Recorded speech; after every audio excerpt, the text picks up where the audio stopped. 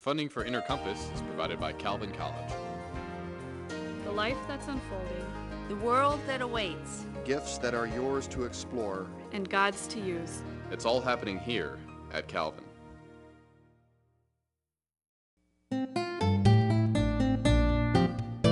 Welcome to Inner Compass. I'm Shirley Hoogstra. Sexual assault is scary, and we feel we don't know much about it, and it's mysterious. Do victims make it happen? Are perpetrators just nice guys who've been led astray? Today, our expert is going to talk about how prevention of sexual assault is a community issue. Join us on Inner Compass.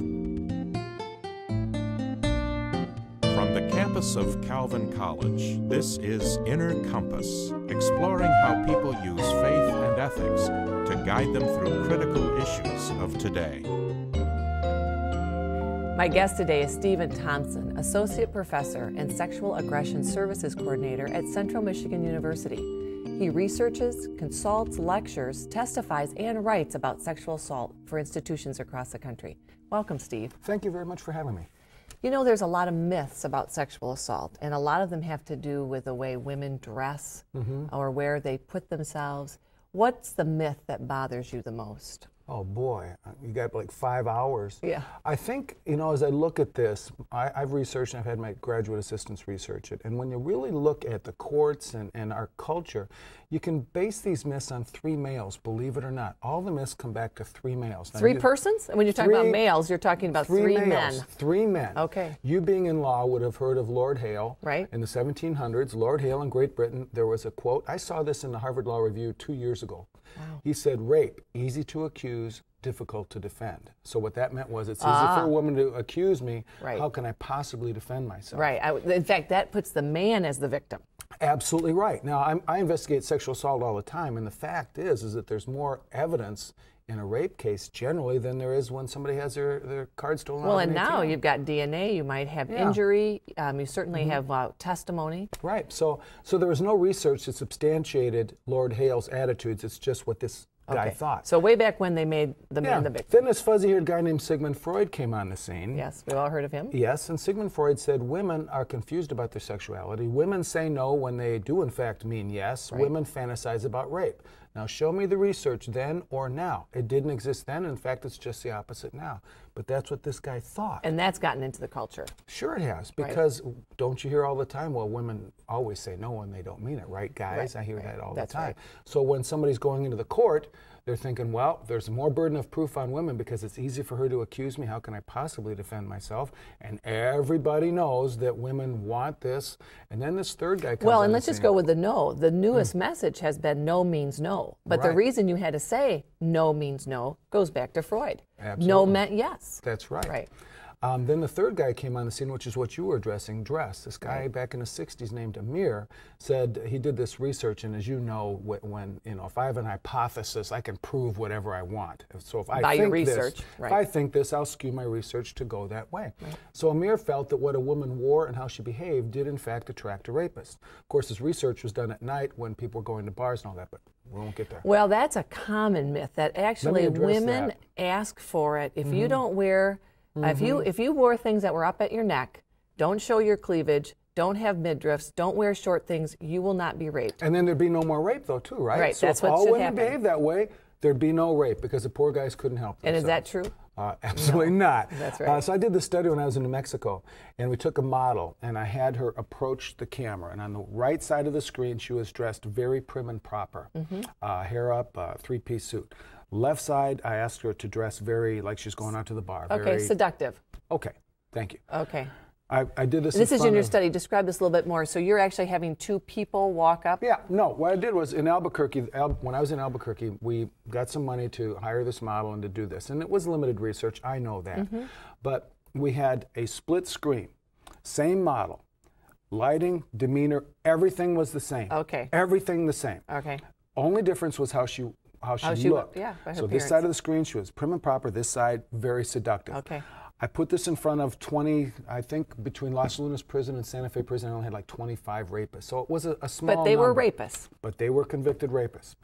So I had them, I had her approach and I said to the rapist. On the screen. Mm-hmm, I had them one at a time sit in front of this. And I said, which one, all things equal, would you go for? And only one went for seductive. 24 out of 25 went for prim and proper. And when you ask them why, it's so simple. This one has been around the block a time or two in their mind. This one, sexual aggression is about power and control. They felt they could have more power and more control over this three piece suit person Than than, this this, one. one. It's not about sex, No. it's about power and control. That's what rape always is about. Sexual Yeah. assault always is about. Sure. It is has nothing to do with love or No. uh, real uh, sexual uh, equality between a man and a woman. No, it's not. Women are objects, women are things. Right. Now this is usually stranger when you describe that that stranger rape, but is it does does that apply to the seduction clothing versus prim and proper clothing to let's say the familiar rape or the date rape situation? Thank you for using the word familiar. Yes, Yeah. it does. It's the same thing. Is I it mean, the same? It's power and aggression in that power situation. and control and and typically the the man who assaults somebody that they know the familiar goes for somebody two to three years younger because they're going for people that are going to be flattered by their attention that's why at, at colleges the the number one target are freshman females and is it freshman males targeting them no it's junior senior males Right. where it's off campus where this guy's got this great line of bull Right. uh, she's younger she's new to campus Right. that means she doesn't have a lot of support with her roommates. He's the greatest thing since sliced bread. It's all a plan. It's a seven-step process that I, I So this sounds the 90s. intentional. What you're saying is Absolutely that is a intense. predator, maybe uh, you've used the word in your literature, score. The predator goes out and says, "Look, I'm going to score tonight," and actually surveys a crowd Mm-hmm. and picks people. He's a predator, and I'm glad you used that word. See, there, there's many ways to cross-reference sex predators. Okay. Is this a state or is this a trait? A state rapist is somebody that does it one time, does not get back what they expected to get back, and they don't repeat for So- whatever reason. so you could have a killer, but he doesn't get the gratification. It's just not something he thought something would occur. Right. He thought it would be really whatever it was he wanted, his motive, and it didn't come out that way. So one time only. And I don't I don't have much experience with those because my experience is more with what's called trait, where they are serial in nature, mm-hmm. where they, they like what they're doing, they plan it, prepare for it, and they repeat it until there's a time where they don't want to do it anymore. This is hard to believe about people that we know. Mm-hmm. That that this trait exists. That the interactions that a male will have with a female is all about a power and aggression relationship versus anything that has to do with relationship. Mm-hmm. I think don't you think that's why women are in disbelief when it happens because they're thinking this was about a relationship. You, the, the Mm-hmm. college man you described, where you know he's a big man on campus. He's maybe smooth. He's got a, a line. He makes you feel Mm-hmm. Oh, good. yeah, He good flatters, right? Absolutely. So then, how that was in her mind maybe about relationship, and you're saying that was premeditated setup. Oh yeah, it's not a relationship; it's a conquest. And and by the way, when I use the word score and conquest, those are the gentle words. That's not how he refers to it, but that's a more correct way Okay. for me to do it on television or whatever. It's Right. very graphic what he'll say, but absolutely right. And also, she feels responsible anyway. You Why know? does she feel responsible? Because I think as a culture we've made her feel that it's your fault for what I do. We you, we have so many excuses for sexual assault. Oh, he had uh, too too much to drink. She teased. There was some research done that was given to high school and college males and females, and the bottom line, what's really disturbing, was the question was asked: Is it ever okay for a man to force a woman to have sex? right. Over 50% of females said yes, it is. Then, when you ask for a narrative, well, if you said yes, when is it okay? Right. If she teased him, if she led him on, if they'd had sex before, and if he spent a lot of money on her. This is when women say it's okay. Right. And then the last question if you answered yes, would this ever happen to you? No. It's always somebody else. Right. So part of the problem is one second before realization sets in that this, this woman is being sexually assaulted, she had that mindset it'll never happen to me, it'll always be somebody else. People bring it on themselves. So now, once she's sexually assaulted, what's the likelihood of her coming into the system telling people? Because if, it was reversed, would she believe? So she wouldn't. Did sh do the people when this happens to them, the women, um, who say, "Well, it's maybe my fault. I teased," do they ever recall feeling suspicious about the person who's flattering them or coming on to them? That's a great question. Um, when There are five stages of, of rape trauma. Okay. Most people think there's only three, but when I, fortunately, when I go on a witness stand, I talk about two things as an expert witness. One is what I call the voice. What's the voice? The voice is you're walking out to your car tonight. Right. You see somebody, something makes you feel uncomfortable. right. It's a gut feeling. Yeah, I don't know. Or a voice in your head Right. says, And "Wait a minute, watch out." Yeah, I don't know if, if uh, there is a sixth sense. My first martial arts instructor said, Thompson, bad people give off bad energy. I'm not sure if that's true or if our minds are just such incredible microprocessors that we pull all this stuff in. I don't know, but I'm a Mm-hmm. firm believer in that. And with stranger assault, a lot of times survivors will say, I just had a bad feeling. Okay. With familiar assault, the one of the primary objectives of this the, the profile is called the nice guy. That's right. that's men who rape people they know. Right. One of the prime goals is to get alcohol or drug into her system. Right. Because you want that voice to be dulled. You want that kind of consciousness. Or to not exist at all. All right. So it is a plan. So it is so unusual to find somebody sexually assaulted by a familiar where they have not been what's called double shotted or dosed with GHB or some uh, benzodiazepine like Rohypnol or Valium. It's very unusual because much like a, a ditch digger uses a shovel as a Right. tool of the trade, nice guy rapists use alcohol and drugs Because they want tool. the inhibitions down, And the right? control up. And the control up. Mm-hmm. Those are the things. So if you if you're at a party and someone you think is being nice to you by either Mm-hmm. buying you drinks or getting you involved in a game, a drinking game, Mm-hmm. that should be a red flag. It should be. Now, Okay. if you go to a party and, and you know, you as women have been told for years, don't do this, don't do Right. that. And I resent that. I You're resent that.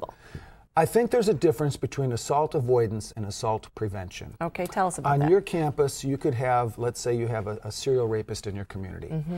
and you could say, okay, we're going to turn every light on. We're going to bring in lights. We're going to have SWAT teams behind every tree. Right. We're going to teach women all these martial arts, and everybody's going to carry a weapon. Right. Great. It's not going to stop rape by one. It's not going to cut the numbers by one Why rape. All it's going to do is make it so you've avoided me. If I'm the predator, Okay. and I can't find you to be targetable, and the first thing all sex predators do, whether it's stranger or familiar, is called target selection. If for whatever reason I don't find you targetable, Find you- someone else. I will find somebody Okay. else. So what we have to do in our culture is certainly focus on what we can do to help you reduce your risk, but the the primary focus has to be on me. Right. Why do men rape? Yes, I know women assault, but the numbers are so Ninety percent, right, of women get raped. Uh, is the ninety percent of targets or more are women and Right, children. Ninety-nine point nine percent of the sex predators are males. Right. We've got to get at why do men rape. Once we get at that, once we get the, at the objectification of women and Right. you are a thing, Right. then we're going to start to see the numbers go down. But we're not addressing that because it's not the politically correct thing to do. Right. It's far better to say, okay, we're going to come to Calvin College and put all these blue lights around. Right. We're going to teach rad classes, and that lets mom and dad think that we're really doing some good things, which it's not bad. Right, it's- it's you're doing- necessary. it's, It's- necessary. Right. But What's in the other addition it? to that, we've got to train the males. We've got to get into broadcast communication arts, talk to people about what about the kind of commercials do you put out there? Can What that change though this trait of wanting to have relationships that are centered with power and aggression? I mean, what you're talking I about is the ordinary guy. Then, I mean, are we talking about the ordinary guy who can sort of be educated around not wanting relationships that based on power? I think what we have to address, I'm not sure that we can change predators. I think there's three kinds of men. I think that there are there are good men. And I will use my gender. There's good Mm-hmm. Yeah, people, but right. I think there's good men that at a party tonight, if some guy's talking about getting a woman drunk to whatever, Score. yeah, he's going to say, hey man, that's not cool. Okay. Violence against one woman is violence against all women, and I'm not going to let you do this. He takes it personal. That's a guy in a residence hall, if somebody makes a racial slur, he listens to the voice and says, this isn't right Right, and speaks up. and speaks up. That takes a lot of courage. It does. Then there's another group that are the predators. I think we can control the predators. I think good men can control them, especially, you know, on some universities where or groups where this guy needs to surround himself with males that think he's cool. Mm-hmm. Well, if males that are really leaders say, You're not doing this on my team, you're not doing this on our floor, it can control him. I don't know that we can change them so much as But you're saying that there might be a continuum where There- if where if this was seen as cool and Mm-hmm. he had people saying this is unacceptable, Yeah, he might you're be not- able to change his behavior. You're some. not doing it on our watch. Okay, so that's the second kind of person. But then there's a third kind, which is what the zebra represents, and that's the bystander, and that's the, the majority that'll say, I don't do this, I would never do this, but they don't get involved. That's the guy at the party tonight. See, sexual aggression by familiars does not occur in a vacuum. No, it's actually usually party at a party where And and, they. Mm-hmm. and then they isolate the woman. But before they've isolated this person, it's been. Oh, and he brags about what he's going to do. I've dealt with these guys where they'll, hey, listen, you, you kind of distract her. I'm going to dose her drink. Isn't this cool? And- ha ha. Or Yeah. isn't this funny? right. What's going to happen and next? it's just it's an object so it, it happens where other men are there Okay, And so what should those men do? they've got to stand up and say this isn't right you know i use the word words all the time violence against one woman is violence against all Why'd you call it zebras? well i was actually doing a program and i was watching television this was about 10 years ago and i was watching national geographic and uh, this lion was chasing herd of zebras and brought one of the zebras down and while it was eating it i was watching that but then all of a sudden my eye looked to the top of the screen and there was the rest of the herd watching this i mean they weren't Mm-hmm. from me they were like 20 30 feet away watching their pal getting eaten Right. and then the next day and the next day and the next day, another one's brought down and another one, and the stinking herd is that close. And they're, They're not probably doing anything about it. they're it. looking over their shoulders, probably thinking, "Glad that wasn't me. That was Right. Flicka. and Nobody liked Flicka anyway." You know, I don't know what they were doing, but if one of them would have said, "I'm kind of But tired of this. too. I'm tired of Right, this. right. Let's let's do something Right. about it." But they don't. They always think it's somebody else. So at a party tonight. There's a guy that's going to be talking about assaulting some. Oh, he's going to be talking about scoring and getting her Right. drunk, and other men know about it. And it's up to us to say, this isn't right, man. You don't do that. Right.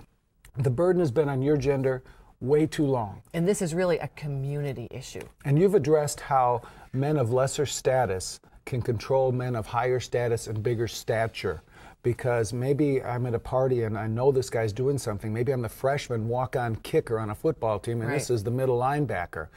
But I know that the behavior of one is, in fact, the reputation of all of us. So if this middle linebacker is talking about doing something, I don't have much status, but I can get other males of equal status to, hey, listen, if you do this, you could go to jail tomorrow. You could do this, you could do that. In control. That's why I say we can control the predators if we've got enough people that decide to be good men and not spectators. Well, you, well, you change the ratio. You've changed the Mm-hmm. power structure. So instead of one more powerful male saying, "This is what I'm going to do, try to stop me," Mm-hmm. and you have some other males who are coming alongside, not just one, two, three, four, five, a culture Mm-hmm. on a campus or in an institution that says we don't put up with that. Absolute, absolutely That's right. that's where you get the power and you've got to get the identification Right. with with doing the right thing versus the identification with doing nothing.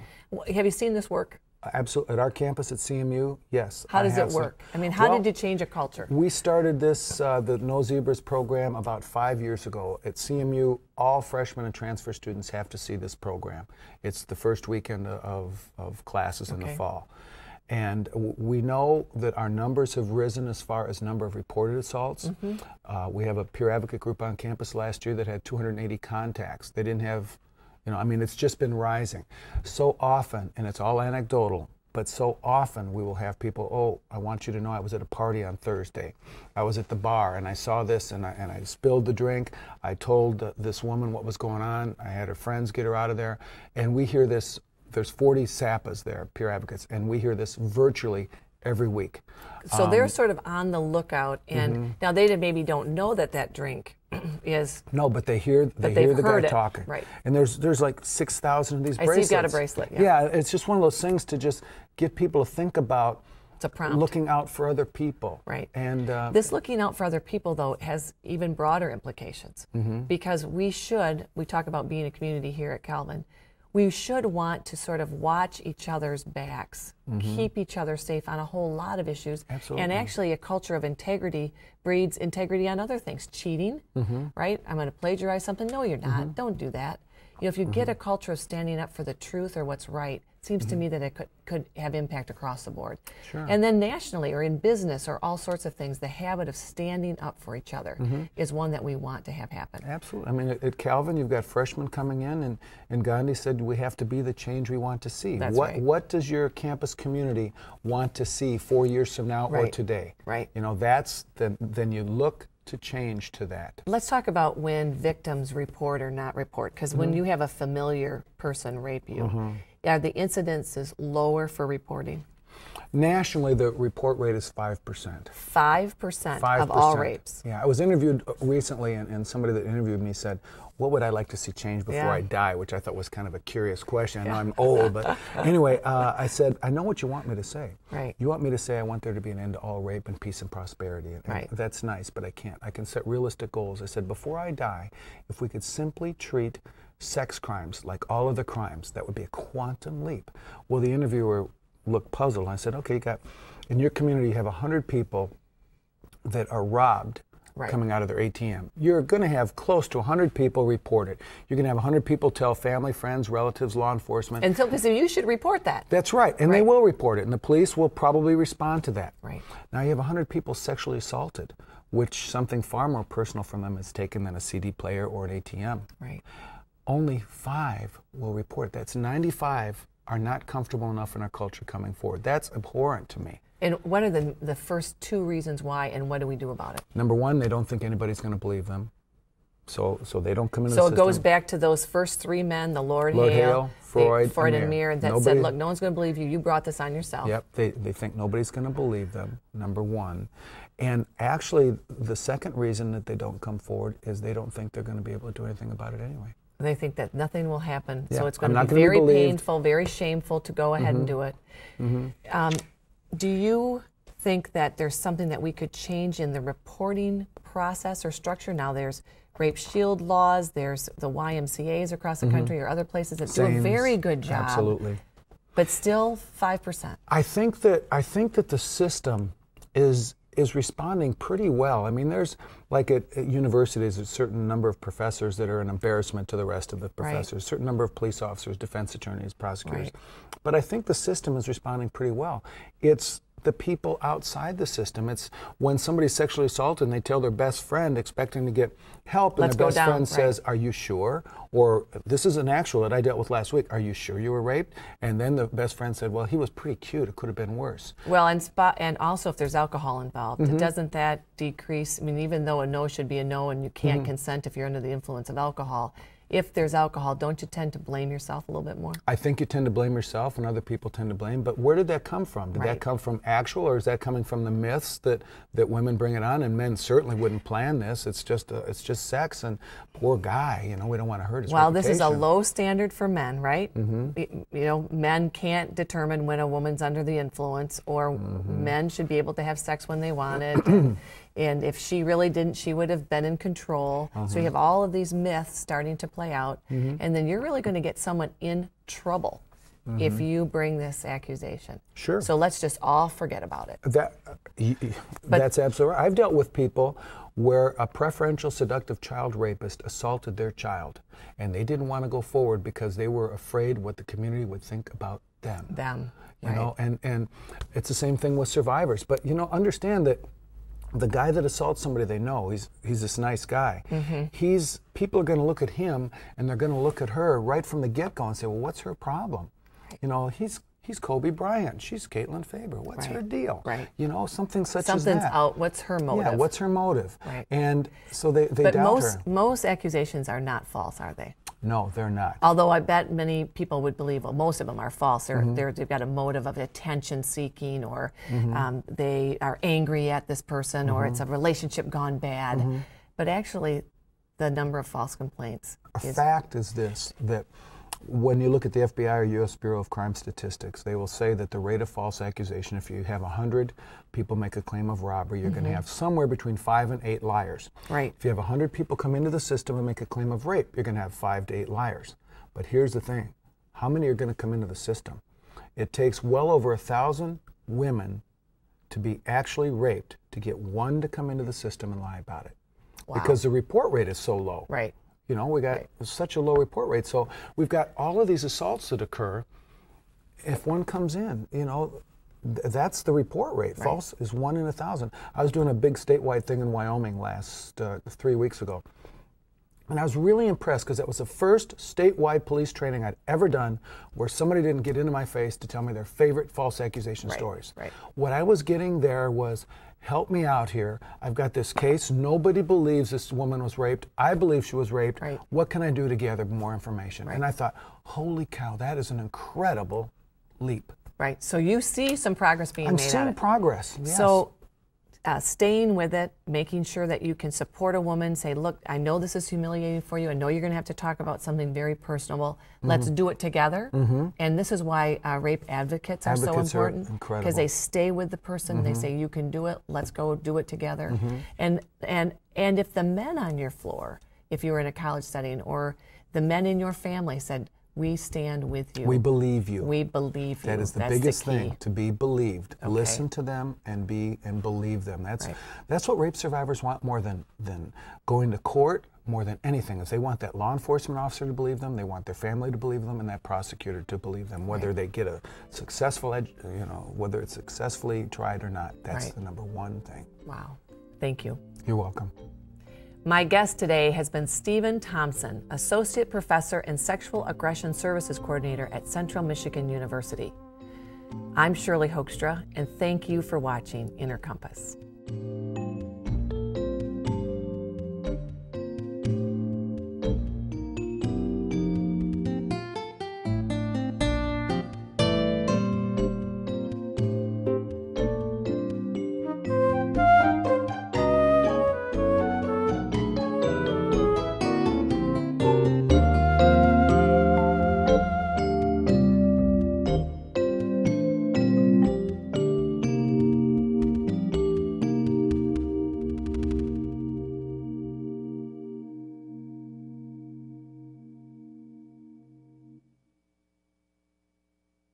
Funding for Inner Compass is provided by Calvin College. The life that's unfolding, The world that awaits. Gifts that are yours to explore. and God's to use. It's all happening here at Calvin.